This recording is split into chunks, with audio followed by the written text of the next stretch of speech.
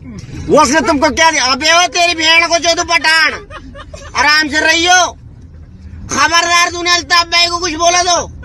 अल्ताफ भाई हमारी जान मांगेंगे, उनको जान देंगे और हमारी गांड मांगेंगे तो